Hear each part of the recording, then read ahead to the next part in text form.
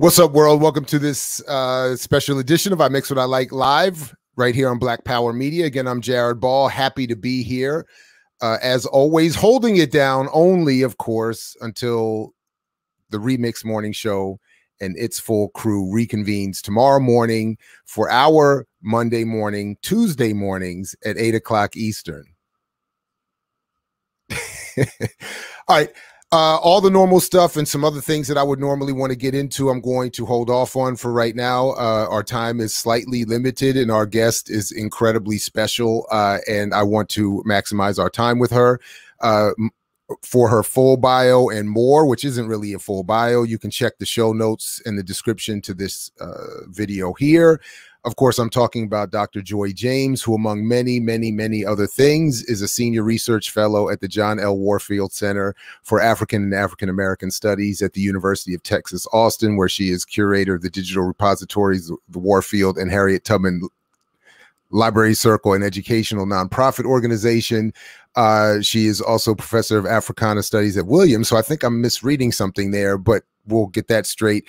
But and I just want to say before we get, I don't know why. Anyway, I, we'll get that straight. But but but uh, uh, but among these many other things, I just want to also say Dr. James, who has written so many incredible things and said and offered so many incredible and important ways to interpret and analyze the world, is one of those, I think, unfortunately, too rare figures within the academic world who does, in so many ways, maximize her relationships with the university, with the community, helping junior and other faculty and other scholars. She is an amazing person in that capacity as well, a true guerrilla intellectual. And I am very honored to have her back with us again this morning. Uh, Dr. James, good morning. Thank you very much again for joining us. Uh, appreciate you. Good morning, Jared. And why am I reading a bio, a, a wrong bio here? but it's the old one, and The uh, old one. it's like seven years old. But I can't get the college to scrub it. I don't know. Yeah, because I got it off the I got it off the Williams web.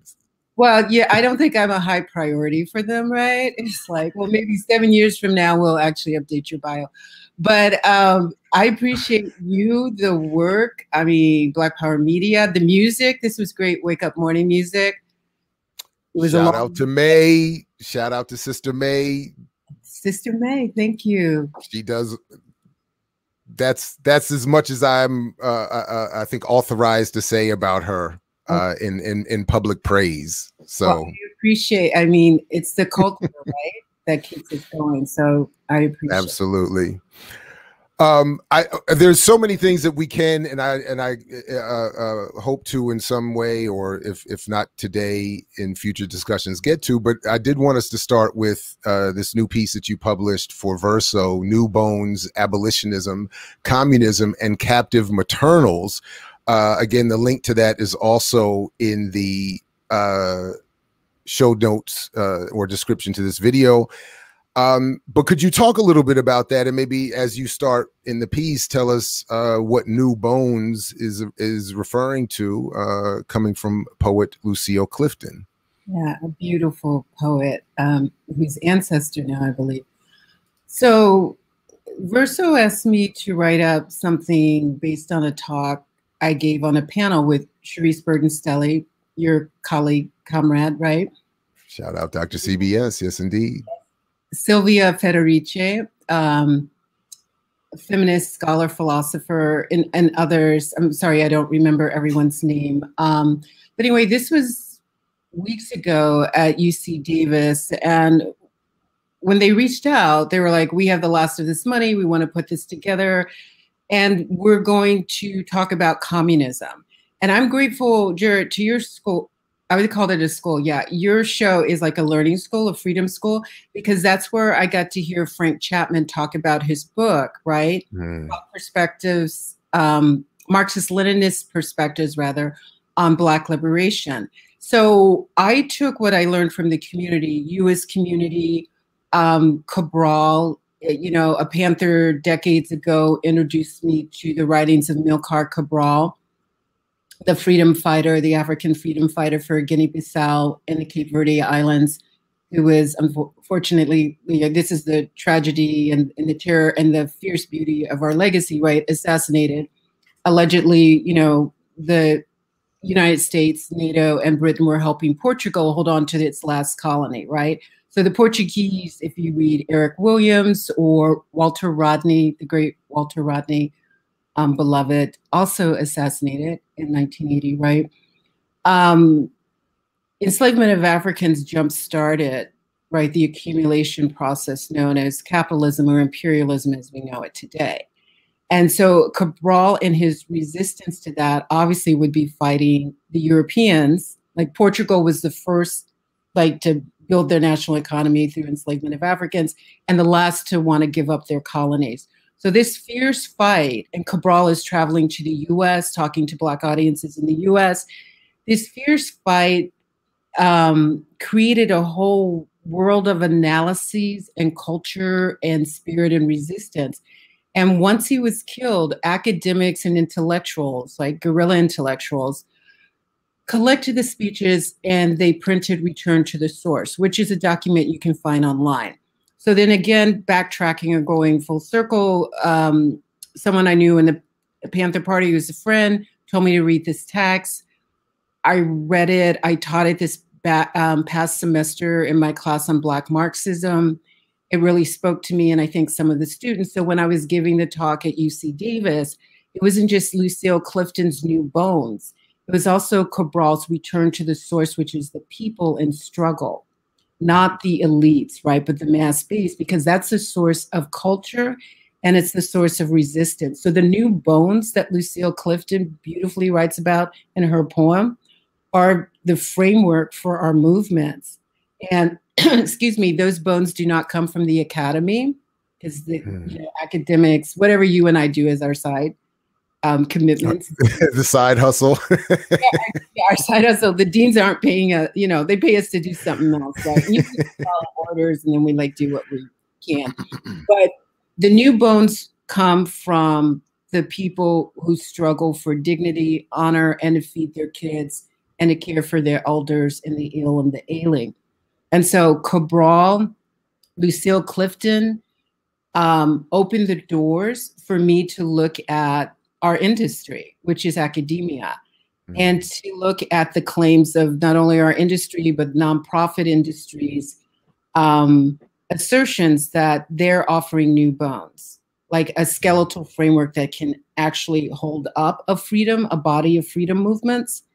And I, in the Verso article, which was built on the talk, I argue differently. Why why do you think it's important? I thought it stood out a little bit. In your first uh, line, you write uh, Black poet, educator, and parent. Lucille Clifton's New Bones shaped skeletal reflections on revolutionary anniversaries. And I'm just wondering why you thought it was important to, to include that she's a parent.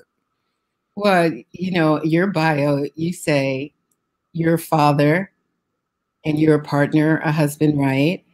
I mean, I see the New Bones formation is tied to love and so the the you know, I don't want to do the the cliche, the personal is political, but like the reality is our learning how to love happens in small spaces of intimacy.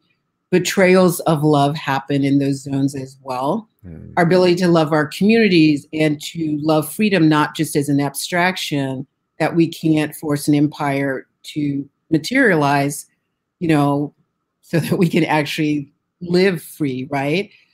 But on all these levels, the relationships are key. And so when I in that article, I talk about the captive maternal, and I've written about it in the womb of Western theory. Uh, you know, I think that piece came out in 2015. But to be a parent, you know, and it's not gendered, right? Again, it's function. to mm. actually be a parent, not as a noun or title, but to be a parent or to parent as a verb, is a relationship of sacrifice, determination, and struggle, particularly if we're Black, because the state, as you know, what is it, parents, parens patriae? Like, I can't speak Latin, but anyway, the state asserts its patriarchal authority over us and over our children. And so its capacity to punish us, to deny us autonomy, right? To deny us maroon sides, to deny us, you know, basic human rights that Malcolm like walked over to the UN in 63, just as Civil Rights Congress did it in 1951. Those are that's the authority of the predatory parental structure. Lucille Clifton is the opposite. And I, I mentioned also, like further down the article, when I talk about Cabral, I note that Cabral's a parent also. So the future are the generations coming forward. Um, to the extent that 20 something year olds are saying, write another stage of the captive maternal and make it about betrayal, then that means that organizations or movements or movement leaders who want to function in sort of a parental authority that's benign have obviously not been able to deliver if so many of the youth feel that they've been misinformed about their own liberation movements and the possibilities of reform that actually deliver. Mm. Yeah, I, I am uh, skipping around just a little bit here, but just to to somewhat bookend your point, you write uh, um, as an ungendered function, the captive maternal emanates out of the mutations of chattel slavery. The captive maternal is linked not only to the routine theft of generative powers of the enslaved, but also to the inevitable sporadic organized revolts against captivity.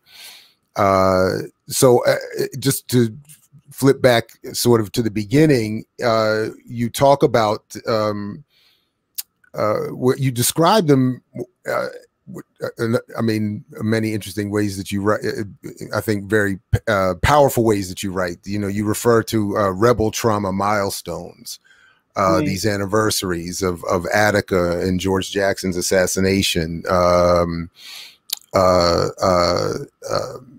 Tulsa, the civil Tulsa, rights, and so on, civil rights. Sorry, yeah, and and so on. So you know, um, you know, could we talk a little bit about what these these uh, rebel trauma milestones uh, mean and why you um, or how you you mean to work these uh, anniversaries into this piece here.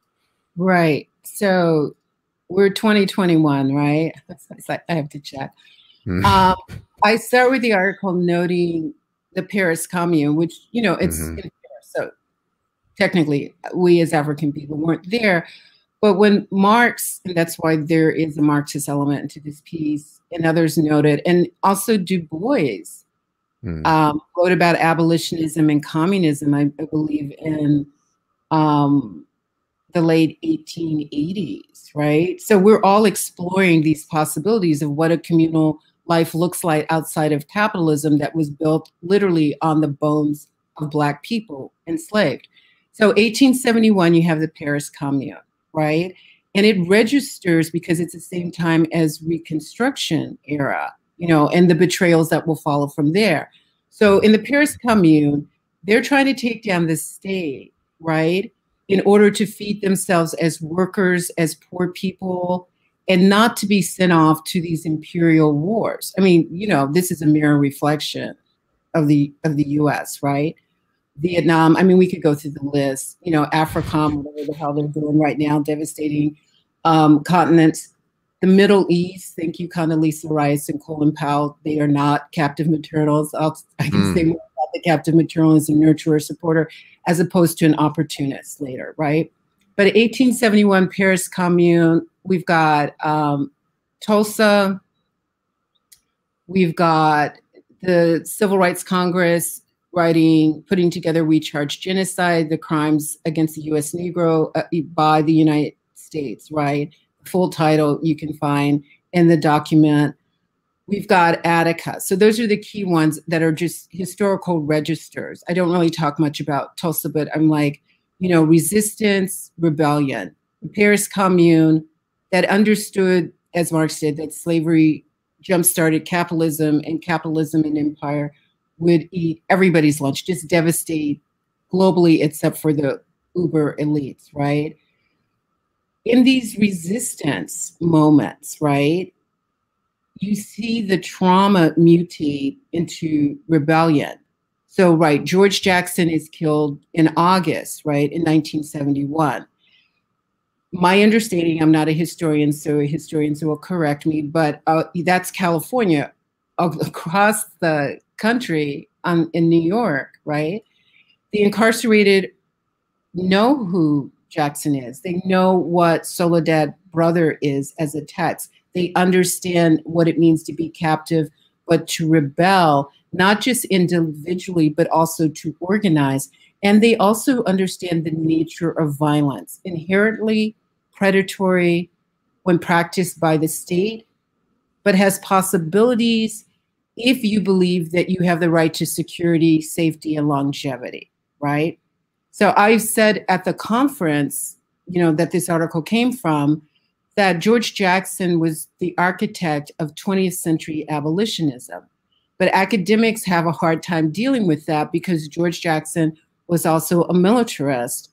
And from the side of prison, he said that this US was proto fascist, where academics say, no, it's not, which means you can work with it, reform it, there's liberal possibilities, you know, electoral. And, you know, I vote too. So I'm not saying I'm without critiques and contradictions within myself. I'm just noting these distinctions, right? So when I think, let's just focus on Attica this anniversary. When I think of Attica, I see the captive maternal. I see it in George Jackson. And some people think that captive maternal is a female phenomenon. It's not. And in this way, I differ or depart from conventional Black feminism. It's ungendered because it's a function. You care about mm-hmm. people, you sacrifice for people, you struggle in movements, even when people are throwing rotten produce at you and calling you out a name, but you continue to be disciplined to struggle that is a captive maternal, but there are contradictions in different stages. So if you believe that George Jackson lived and died to be freed, not just for himself as an individual, but for the collective, the community, understood Black internationalist struggle, right? Then his assassination will have a personal impact on you. And that was true of the people inside of Attica. So, what started probably as a small protest among the most politicized, as we know, expanded. And this is when I, in the article, I start talking about these different stages of expansion of the growth of new bones among captive maternals. I use Attica because it's a male prison, even though I argue everybody who was sent there probably did not identify as male. If they saw themselves as trans or non binary, whatever, they're going to be classified by the state. So I talk about these stages. The first stage is that of the conflicted, or you could be celebratory caretaker. And that means that the incarcerated reproduce the stability of the prison by being the trustees, by cleaning, by mm-hmm. gardening, by cooking, by even giving emotional care for each other to keep people relatively intact in a war zone, which is what prisons are, right? Um, Orisanmi Burton is doing a book on Attica. I believe he's a historian. I believe the book is is going to be quite impressive in its contributions. But in talks that I've heard him given, he talks about how the incarcerated would sing to each other. So that's like I said, your music, right, Miss May? Like it's it's it's soothing to the soul when you're in stress and struggle, right? That's the first level. The prison could not exist without the incarcerated maintaining it. But that was the nature of enslavement writ large for all of us, that we would stabilize the plantation in order to feed our own people, right? And in the process, we're stabilizing the entire structure of the plantation, right? The second stage is the protest stage when, you know, the Attica folks say, we're humans, we deserve rights, we want dignity, and they start to mobilize. The third stage, right, is the movement stage where you go from a protest to an organizational struggle, right? And from that movement stage, you can move to marronage, where when they took over the prison, they built a maroon camp inside the prison walls. They had, you know, food delivery system, waste removal system, medic system, political education, who would talk to the New York Times and the press, who would issue the call for Bobby Seale or some folks to come visit, you know, who would talk to Kunstler, the attorney, et cetera, et cetera. But that level of marronage and autonomy is seen by the state, even though the generative, you know, catalyst is for human rights, as a declaration of war. So what does Nelson Rockefeller do after conferring with President Richard Nixon?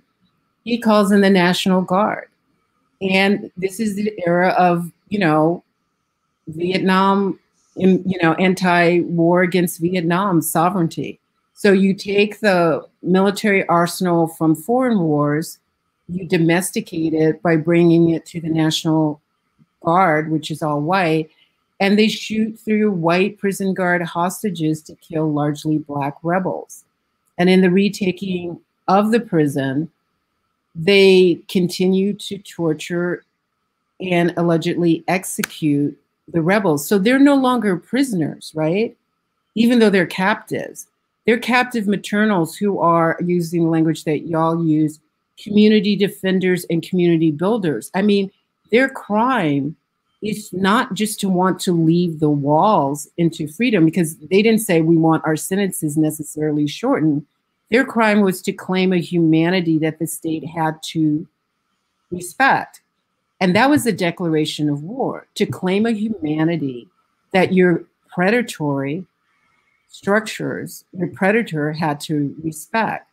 So this is the way I see the captive maternal moving through these various stages. The 20 year olds ask me, what's that last stage of betrayal? And the way I close out the piece is to talk about a conference at an elite institution. Well, I, you know, I wrote in the piece, so I can name it, right? So it's Princeton and 2021, 2011, sorry, 2011. So over a decade ago where I'm asked to speak on it on the girl, right, on the island, right. And first, I'm like a little, is this a play? Because when I start giving the talk, like the New Jersey troopers walk in the door, and I'm like, did y'all just bring me because you didn't want to do this? Like, I'm gonna like have to look mm. at these people, right? But that was like that's my own personal issues right I worked through. But here's the thing that happened with the sister sitting in the front row on the panel when I was talking about Sundiata Acoli's article, right, on um, legal concepts, political imprisonment, and a path forward to freeing political prisoners, but also comprehending the state's um, violent policy against any agency. So the political prisoner can be innocent, they can be, you know, a combatant, they could be a pacifist, it doesn't matter. It's the point of rebellion that has to be suppressed, right? And violently. So when I'm on my panel, like channeling the political prisoners, talking about, you know, COINTELPRO, et cetera, et cetera, I'm probably the only one doing it best to my memory. But the sister in the audience raises her hand in Q&A and says, hey, I teach at a vocational college, a two-year, right? So where my teaching load is two two, and I'm compensated, and like I can be middle class with what I'm paid, right? I'm pretty sure she's underpaid or gets a fraction of what everybody who's presenting is paid because she says everybody throughout this whole conference on stage comes from an elite university and it's multiracial. It's white, it's you know, it's all the colors are there, right? But all the class is the same. The class standing is the same. And she like just drove the point home, like quietly, like I'm not, you know, raising y'all, but let me just point out a contradiction here. My students are the ones who are stalked by predatory policing, by poverty, by dishonor. Everything that you're talking about happens to my students, right? Who then, when they come to class, she's the captive maternal looking after them. Or when they disappear, you have to go find what happened. Oh, you at Rikers? Or did somebody, your mom got what happened to her? You know, it's like constant care, right? but without the parental authority to do it. It's just out of love and will. And so she's like, why isn't ever at these elite conferences somebody like me on stage? And so I write in the article, I said, you're absolutely right, but it's not just Princeton. Like if you look across the country, whoever George was, right, to be the catalyst, the tripwire to think about abolitionism in a certain way in 20th century by the time of his death in 1971. Like a generation later in, you know, 1990s, early, you know, turn of the century stuff, he's largely disappeared or marginalized. And so academics become the defining narrators of what abolitionism is. And so they hold the microphone. And so whatever little bit I could say, like you're right, it's not just here, it's like, you know, it's it's national, right? This is the prototype.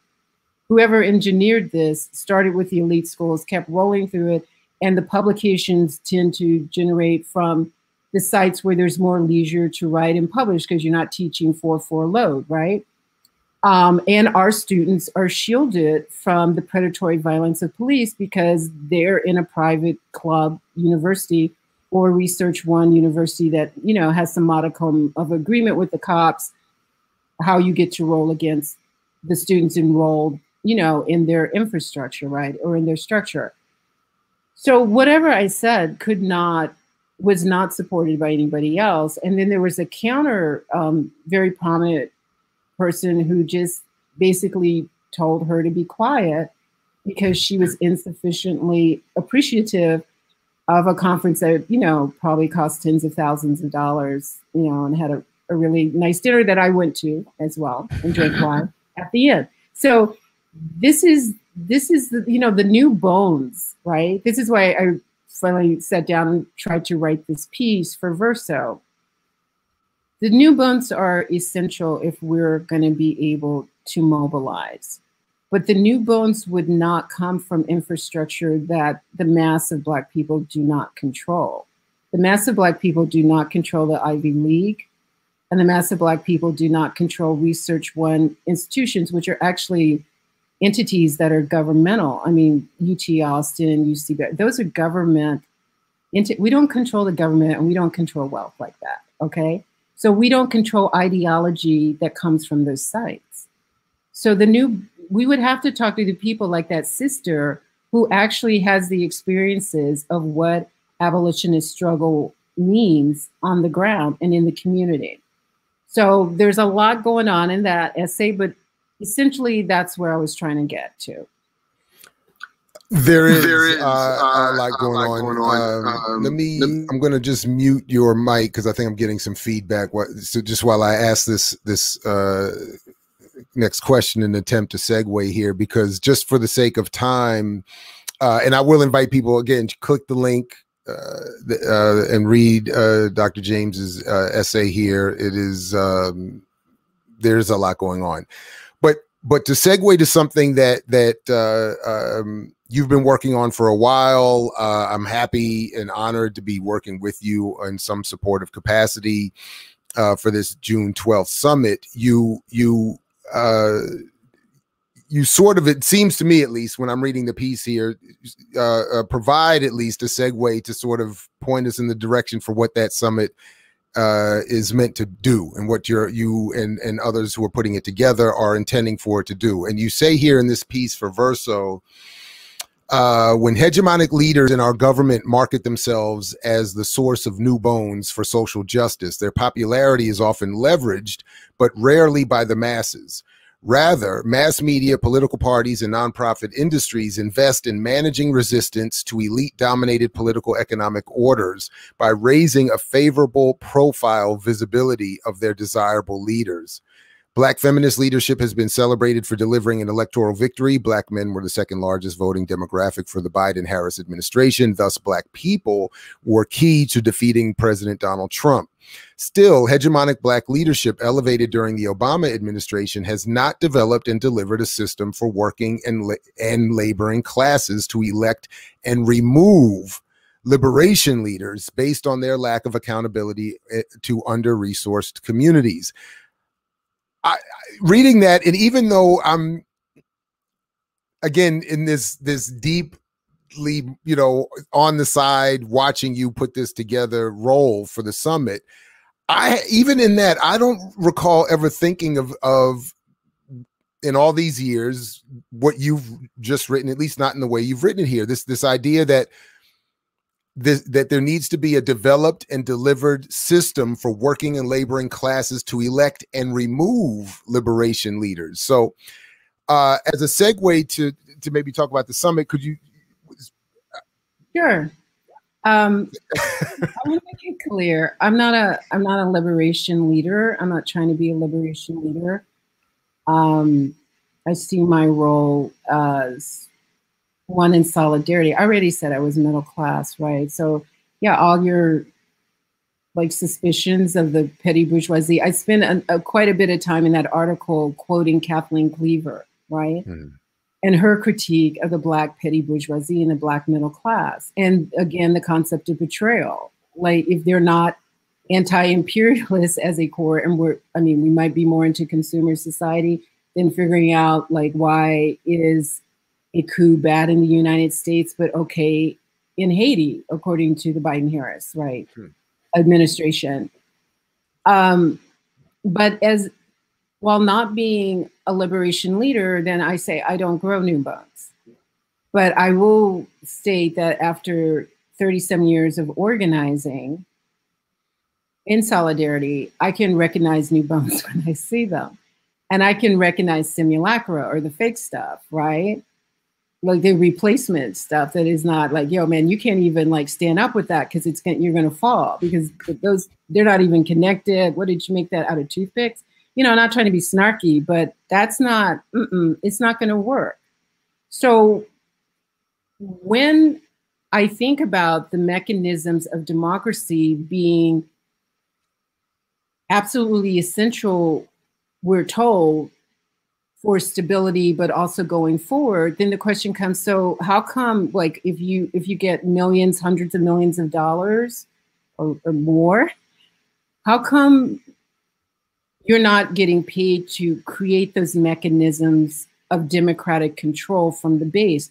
If you hate the electoral college and you understand like, you know, every time Sally Hemings had a baby, you know, rape, you know, product by Thomas Jefferson or, you know, three-fifth clause of enslaved people, how Southern presidents came about disproportionately because three-fifth put two black people together and you get representational power, et cetera, et cetera so if you understand that electoral college tells you we don't have a direct democracy, if you understand the role of voter suppression, if you understand the role of Citizens United for unlimited, you know, almost private donor wealth flooding into these organizations or movements or elections to skew them towards elites and white nationalists, right?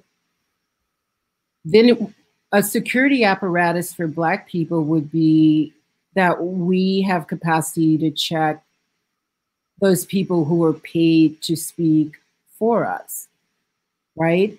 So if you're saving US democracy, then bring those democratic practices to Black communities so that they can say, well, we appreciate, excuse me, we appreciate you for your service in 2014, 2015, but by 2017, it looks like this is an accumulation scheme and we need you to step down.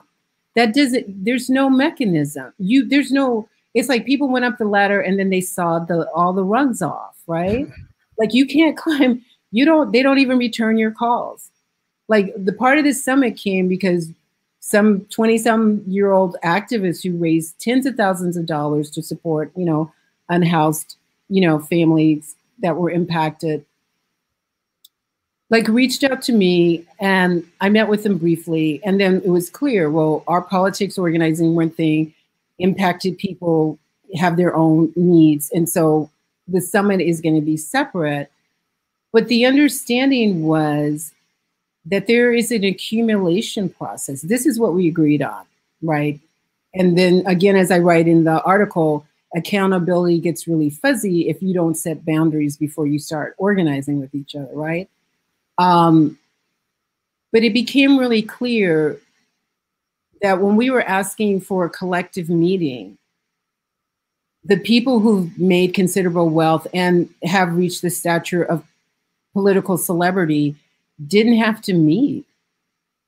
Because there's no there's no mechanism to make them meet with you and even if you get the list of the last distribution of the last of the monies or some of the monies nobody knows because it's not fully transparent you don't know which organization got which amount and as I talk to Black activists from New York City who have been in some of these organizations that have been compensated, I know I feel that that verb is probably not appropriate, but they've been paid, right?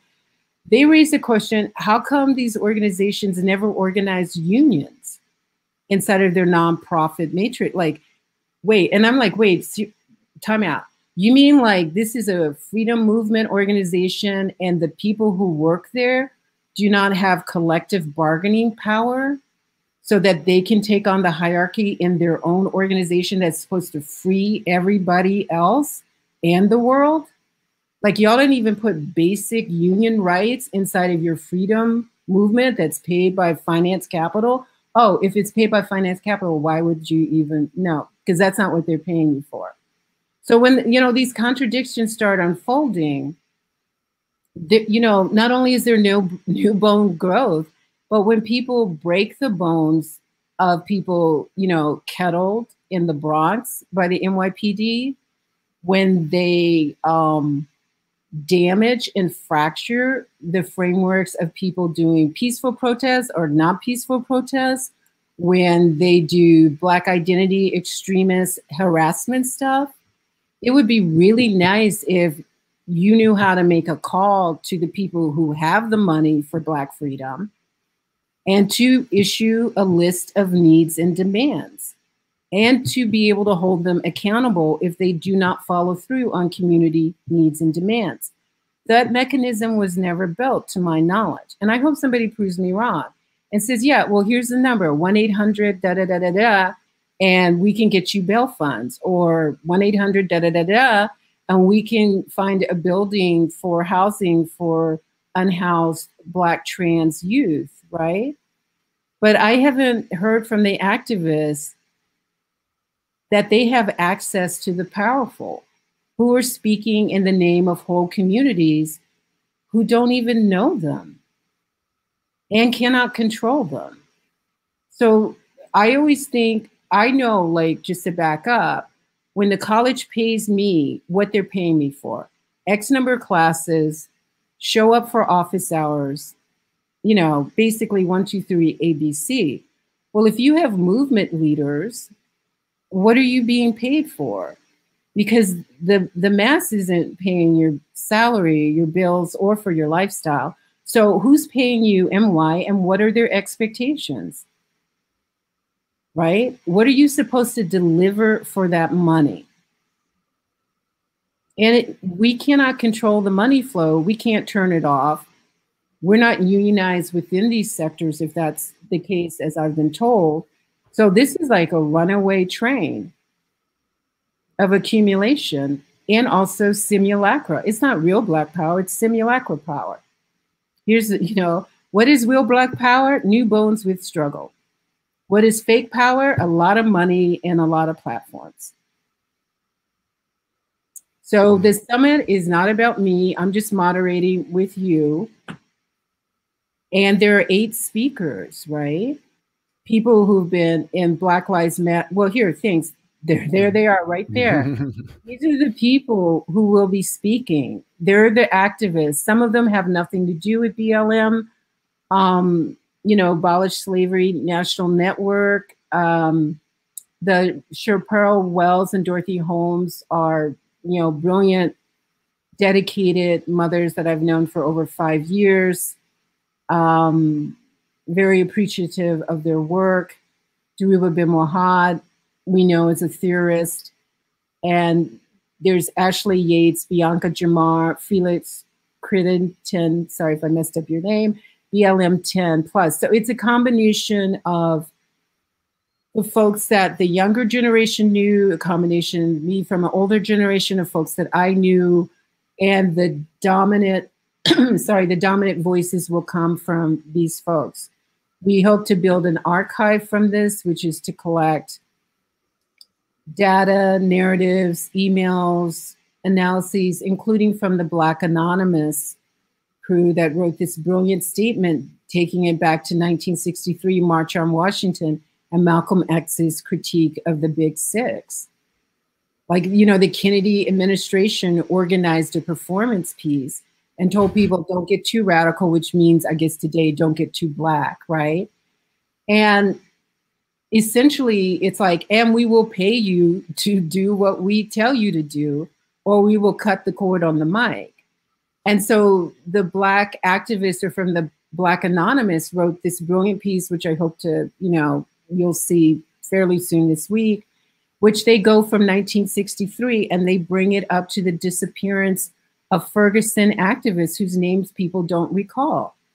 And also the origin of the term Black Lives Matter. They say, no, it actually came from this individual, I believe a Black male academic. And so our culture is generative. Our struggles are complicated, contradictory, but when they're driven by love, they do take us to the brink of changing the material reality of struggle. And of course, repression follows, so we regroup, but also funders follow. And what the summit is trying to do to the best of its capacity, based on these eight speakers, is reveal what we need to know and figure out collective strategies for going forward. Right on. Uh, thank you very much for that. And again, that that summit's going to be here on uh, BPM uh, on June 12th. That's Saturday, this Saturday from 2 to 4 p.m. Eastern Standard Time. So uh, please do uh, come on through. Um, very quickly, just the thing on Attica. There's always something that sticks out to me on this that I meant to ask you or bring up just to just to say that that I always think about with the with the or am reminded of when when uh, uh, Attica uh, is mentioned. Um, that it was reported that the white prison guards who were held captive were told by their bosses that they would not be paid for the hours where they would not have been normally considered to be working, though they were being held hostage. So, in other words, from like midnight to 8 a.m., they weren't given, they weren't paid because. So I just always, I, I, for some reason, of all the horrors that occurred, that that that story just says so much about everything. Like they wouldn't even pay the like your own people got, and you're telling them, well, from twelve to eight, you weren't really, you would have been sleeping, so we're not going to pay you for that. It's like what? Yeah. Anyway, anyway, no, so. but it is, yeah, um, yeah. This, I know, like, oh, we got words, but when I first, you know, the Eyes on the Prize documentary, right? Mm-hmm. Law Part Two. So that's the one. It opens with was it is it George's assassination? Honestly, I don't remember, but um, okay, I remember yeah. so a number of things going on in it. Um, I believe you know Fred Hampton, sixty nine. You know, George seventy one, Attica seventy one. Right. George dies in August. The Attica Rebellion happens in September.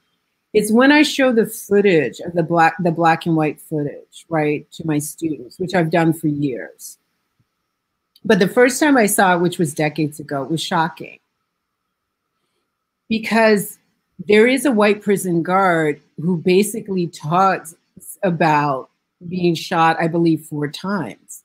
Mm. And even though Rockefeller spins it that the incarcerated were murderous, and yeah, there were some people in for such crimes, right? But the rebellion and two trustees, I believe, died in the original takeover, right? Um, they had no guns. And finally, the truth came out. Everybody who died by gunshot was killed by white National Guard. And then I was like, oh, you, and this is what I wrote in the piece. And then I had to grapple with it decades, and I guess I'm still processing.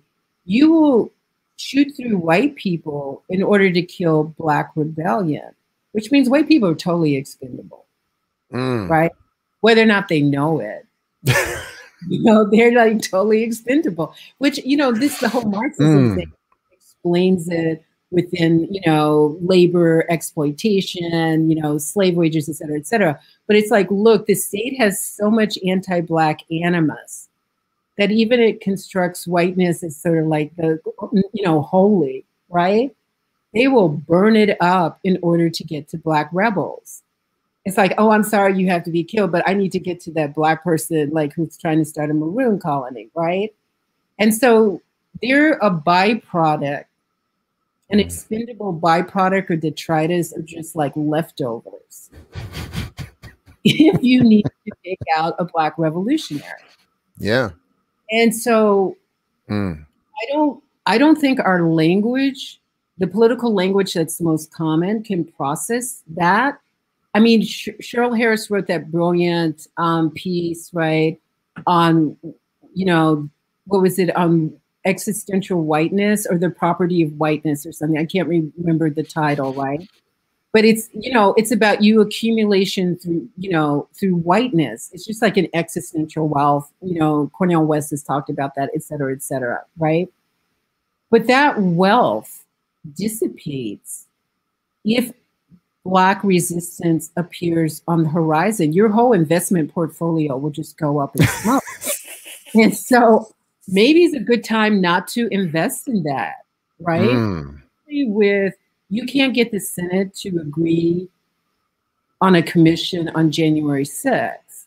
So yesterday there was this like really amazing forum, uh, Black Feminist Futures, you know, Paris Harris, others, uh, C. Riley um, Norton, Norton, sorry, mm-hmm. name, mm-hmm. um, Saidiya Hartman, um, Savannah, Shange, I'm sorry, you just all forgive me, okay? It's just like I've been working overtime. My brain is like expiring. But we had like this whole discussion back and forth. In part, like I think about what is Black feminism, or like who are we constituted as in opposition to whiteness, or how did white imperialism and capitalism constitute us through anti-blackness, right? And the only thing I can remember among all the different things that we were talking about is like I got some clarity that my commitment is not to the intramural per se. My commitment is to the source. And the source is whatever is generative for resistance. The whole collection of Black people do not agree ideologically on politics. There are people who want to work for government. There are people who want to work for empire. There are people who want to work for capital. I'm not here to persuade them to do otherwise, right? I'm not here to persuade people of color or white people to do A, B, C, one, two, three, or anything like that. I am simply a seeker for the source, which comes from our cultures of resistance. So whatever the intramural is doing, like throwing like broken glass at Afro pessimism, instead of paying attention to Brazil or Colombia, black masses around, whatever in you know inner whatever Nissan, whatever y'all are throwing down, don't. It's not of interest. It's this is my position on the captive maternal. The state stole and repurposed our generative powers to care for each other in order to accumulate through a regime of terror. That is what slavery is. It is a crime against humanity. As Cabral says, we can take it to the UN as the Civil Rights Congress did, Malcolm did, and Cabral did in the 1970s. But he later says, which I quote in the article, we were a bit naive, right? Because the international community, especially that building and really wealthy real estate in Manhattan, they like their lifestyle right? In fact, if I can interrupt you, because you wrote this so I, I, powerfully, you said Cabral asserted that he did not appear before the UN committee, quote, in order to obtain more violent condemnations and resolutions against the Portuguese colon colonialists. He came for material aid. He left empty handed. Yeah. I and wanted- no, I mean, for me, this is why Cabral is the source. When I say I'm a seeker, I'm learning, I'm trying to learn. I'm not trying to proselytize. I'm trying to learn. And then when I write, I share with people everything I learn from the source. Almost all my books, like eight years anthologizing political prisoners, Transcending the Talented Tenth, Charlene Mitchell, Black communist who created Che Lumumba Club, recruited Angela into it. She's the one who told me to go to Schomburg and read all the memoirs of Du Bois, look at the contradictions of the Talented Tenth. everything I wrote, like my dissertation's on Hannah Arendt, a liberal German Jewish philosopher, right? And Kant. It has nothing to do about this struggle. Everything I write is about struggle because I'm a learner, a seeker, and I learn from the source. And so what Cabral says about the UN applies today. But I, I suggest at the end of the article, right, that if the academy is acting like the UN, like with these mission statements, but no material support for freedom fighters on the ground, then it's a form of betrayal, just like the UN does. Right? I mean, it says all the right friggin' things. And then when things jump off, you can go to it. You know, remember Che Guevara went there and condemned the UN right after Patrice Lumumba was assassinated. And he says, y'all keep talking about peaceful coexistence, which the Soviets were, you know, promoting, I think in part because they didn't want the US to nuke them or something. But then the third world becomes the war zone for everybody else. I mean, that's where you do your assassinations, your coups, et cetera, et cetera. And so when Che Guevara goes and he's like, we are happy to have peaceful coexistence if y'all would stop killing us and this is what I was saying at the Black Feminist Conference. You know, I'm happy to have therapeutic meetings with everybody and anybody if you will agree to stop killing us. So far, you haven't agreed to those terms. So, like, you have the right wing terrorists underground that just came, that's above ground now. You have them being under policed. You have Black activists being harassed. You have internal conflict, right? And if this international community or academic community are supposed to be objective arbiters of struggle, that's not the function they're actually playing. You will leave empty handed. They are not committed to the source, and you can't control them. We don't pay their salaries, so they're going to do whatever they want to do based on the people who pay their salaries. Does that make struggle impossible? Absolutely not. But we redirect, in my opinion, our energies towards the source of culture that doesn't mystify the violence of empire, but will actually recognize and speak to it in a tangible language. I'm not always clear, and so that's my limitation. It's not the limitation of Cabral. If you know, if I don't do a, a decent job read Cabral. I gave you the link in the article. You know, read Fannie Lou Hamer. I mean, just go to the friggin' source. That's the best I can say. I'm just an academic, you know, doing support work. Mm. That sounds like an insufficient statement, but I hear you. I hear you. I hear you. Um, uh, and by the way, I just saw the the again the documentary that, that's uh, I keep forgetting the title of it, but about Dag Hammer. Forgive me for mispronouncing. But when you talked about the the the uh, uh, the, the, the what was it the, the the the wealth and existential whiteness was was totally withdrawn from his account as he was trying to bring peace to a rebellious African uh, uh, uh, continent, he was messing up the program and got his plane shot down. So it was, it just, anyway, so it, when you're talking about Lumumba, because he was he was on his way to try to help broker peace between Lumumba and um, wasn't that when he was get was shot down? I can't remember, but anyway, it was just one of those. It was it was uh, anyway, yeah, just another was, one of those moments. I'm not saying to romanticize revolutionaries, right? Mm-hmm. But I think that we should take them seriously and not try to commodify, package, or put them in the freezer. Hmm. And if you see the risks that they took, they took the, those risks for a reason. And what they left hmm. behind was legacy, not to replicate their actions, but to study them and figure out how to promote longevity not just the longevity of our individual lives or collective lives, but the longevity of struggle. And yes, I would argue that all revolutionaries are expendable by the state and probably indexed by the state. So the mm-hmm. question becomes what do we who are who do not see ourselves as revolutionaries, but do not see us as ourselves as anti-revolutionary, right? What do we owe revolutionaries? What do we owe the people on the front line? we obviously owe them something. Like money doesn't flow in until there's a rebellion, but the money goes to the people who do the rebellion, right? So if you've achieved some degree of employment or comfort or stature, you know, I'm fine. I'm like not hating. I told you where I work. But there is accountability and there is decency. That's the only word that can come to mind. You can't forget the rebellions. You can't like massage them into some version of liberalism. And you can't forget the rebels. And they will come in different shades and forms.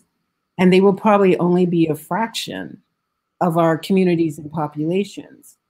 But they actually have knowledge so, you know, if you look at that graphic, we have allies, like that graphic of 500 years of rebellion, of resistance, that came from Asian allies, right? Who like found that graphic. Um, the Lucille Clifton um, poem was sent to me by um, a person I was in seminary with in New York City, you know, a white um, feminist activist who like works against like intimate violence and family violence and stuff like that. So it's a composite, right? But the the the heartbeat, yeah, there's the graphic. And if when you open it, you're like, oh wow, we've been busy for half a millennium, right? So we have allies, we have structure. The point is to amplify the voices who are the most impacted. So the eight people that are listed, I'm sure there's dozens, scores, hundreds more. To archive our knowledge in an accessible place in terms of the contradictions and to meditate on those contradictions, strategize, and then move against them in order to strengthen our movements and also strengthen our truth telling.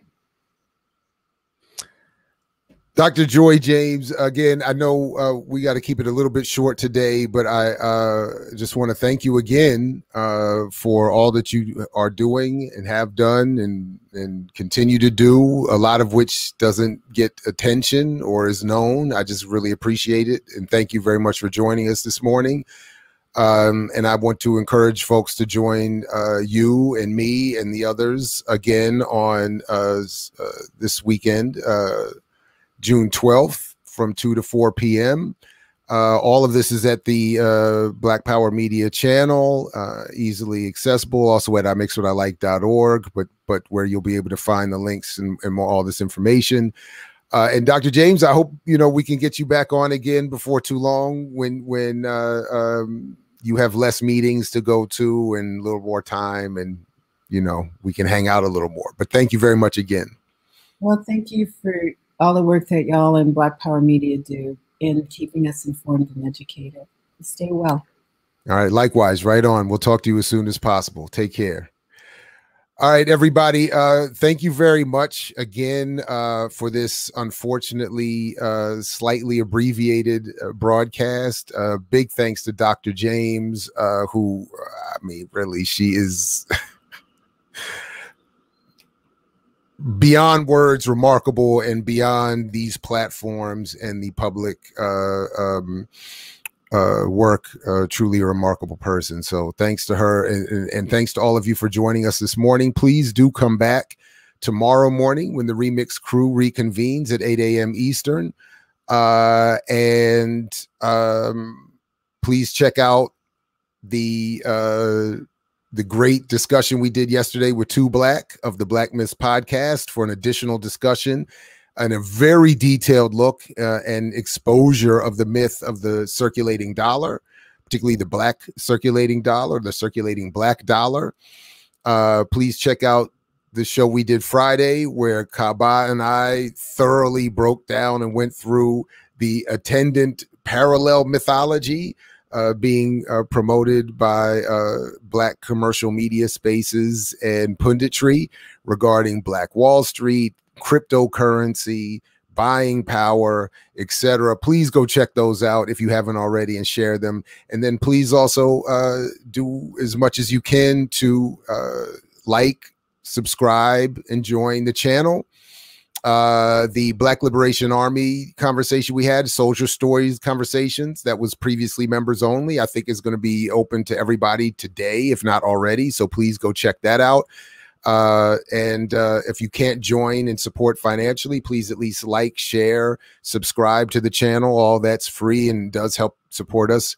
Uh, and uh, come on back uh, tomorrow and in perpetuity and go to the channel and check out everything that you haven't seen or see it again share it with somebody else so uh, and if I didn't get to it today, I do try to get to it afterwards. Uh, so if you're seeing this live or later uh, and it wasn't addressed, uh, we definitely do want to hear from you and we appreciate you. So, as my man Pierre at Comedy Hype says, put it in the comments and we'll get to it as as soon as we can. All right, everybody. Thanks again. Peace, everybody. If you're willing to fight for it, as we know, Dr. James is. Uh, and as Fred Hampton used to say, and we'll catch you next time here at I Mix What I Like Live and tomorrow with the Remix Morning Show at, uh, of course, right here at Black Power Media. Peace, everybody. I mix what I like, what I like, what I like, what I like. What I like. what I like, what I like, what I like.